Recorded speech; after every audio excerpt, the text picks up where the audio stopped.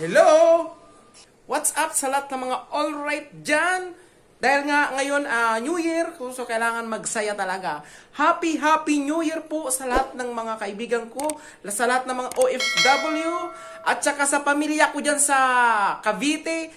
Happy New Year! Sana mag-enjoy kayo ngayong New Year. Ginagawa. At sa pamilya ko dyan sa Bicol, Happy New Year po sa inyong lahat. Pasensya na kayo kung ayun nga, hindi ako nakarating sa wish ninyo na magkasama-sama tayo ngayong ah, New Year. So, yun nga, masakit para sa akin na hindi ako nakauwi. Pero huwag kayong mag-alala na ah, this coming ah, secret, this coming secret, darating ako dyan. So, abangan nyo to. So, ang vlog ko ngayon is gagawa ko ng isang ah, mix-up vlog na may na medyo may pagkadrama, na medyo nakakatawa. So, ayun nga, abangan nyo to mga ka-alright. Sa kabila, pupunta ako sa kabila. After sa kabila, pupunta kami sa labas. So, abangan nyo to!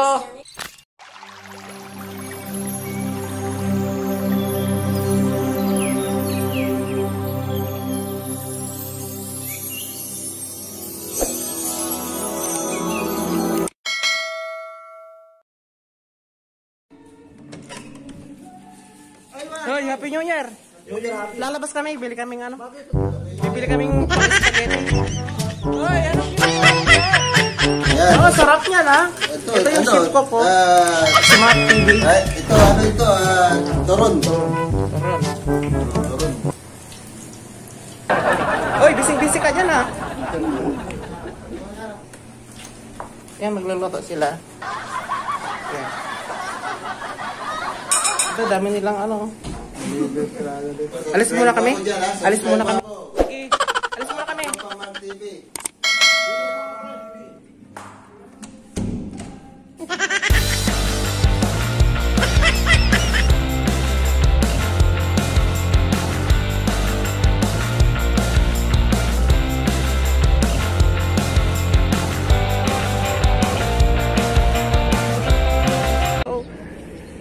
Today's vlog is pupunta kami sa Bacala.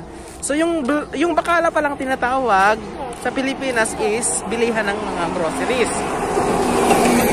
So, nag-vlog ako sa ngayon kasi ito na lang talaga yung ito na lang talaga yung ah, nalalabing ah, nalalabing araw na kung saan mayroon akong time mak- makapag-vlog kasi And the other days siguro is makauwi na ako ng Pilipinas.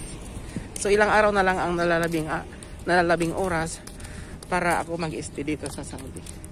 So ayun nga, yung mga mga ka-alright yung kasama ko, ayan. At saka yung dalawa, ayan naglalakad sila. So medyo malayo-layo pa yung lalakarin namin. So ayun nga, dati yung pag unang punta ko pa lang dito, yung kalsada na to is ano to, yung hindi pa simentado ngayon, ah, ano na siya, all right na talaga siya. Finish na siya. So, nandito kami sa labas ng compound. Ayan, labas ng compound. So, walang gaanong katao dito. Ngayon kasi is Friday, so walang mga ano, mga, wala yung mga rabo. So kami lang yung tao dito sa labas. Sa kabila, yan, housing yan na may-ari ng aming employer. Housing yan, yung mga mga modern. Yan, sila dyan, sila nakatira. Ito si Rod Loren, nasa likod ko. Hello, Rod Loren, kumusta? Ayan, siya. At saka ito si Wings TV, kasama namin. So mamimili kami ng pang spaghetti. At saka naman yon si Boy Alright. So subscribe nyo po yung aming mga YouTube channel. So wag nyo pong kalimutan na i-follow yung aming ah, Facebook page sa Facebook. So kung ano yung kung ano yung channel namin sa YouTube, yun din ang ginamit namin ha. Facebook page sa Facebook. A few moments later. Two hours later. Ito siya, oh, malagkit nga ay lagay sa loob. Malagkit yun sa loob.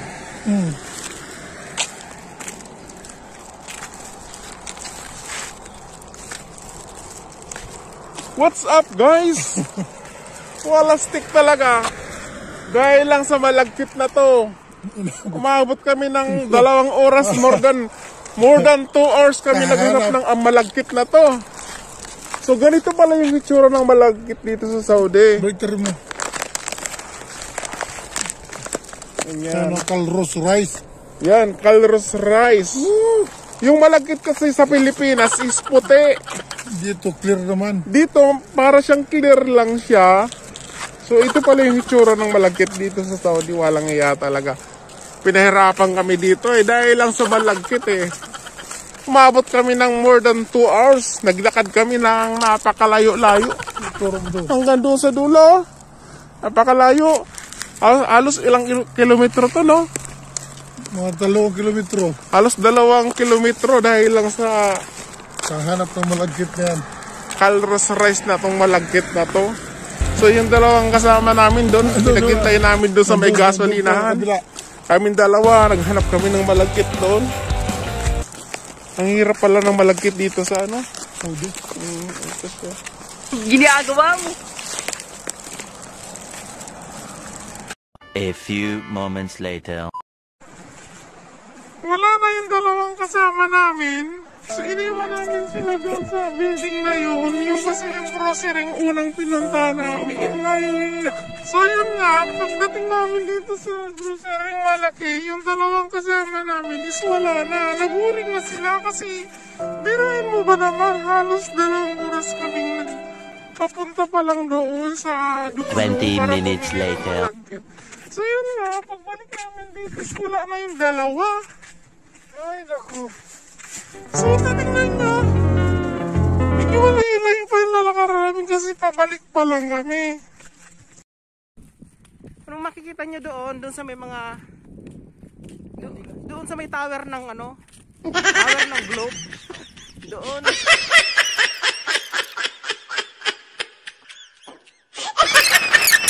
Pupunta. So, malayo pa yung ano namin. Bahay namin. So tutuloy ko to pag nandoon na kami sa um, pag malapit na kami doon sa gate. 20 minutes later. So yun nga nakarating 20 din kami minutes dito sa, later. Sa aming tirahan. So layo-layo talaga ng nilakad namin, nakakapagod talaga grabe.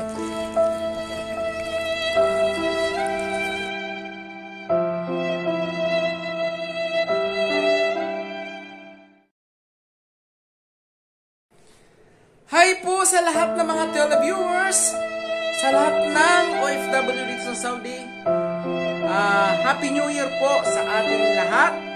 At saka yo, dyan po sa pamilya ko sa Cavite, ah, pasensya na kayo dahil yung wish ko at yung wish ninyo na magkasama-sama tayo ngayong New Year ay hindi natupad. Dahil nga, ayun, dahil yung panahon natin ngayon is medyo mahirap. Mahirap makipagsapalaran talaga.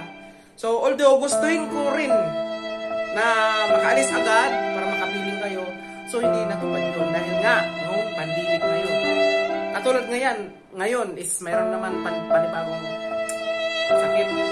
So, napakahirap para sa akin, malungkot.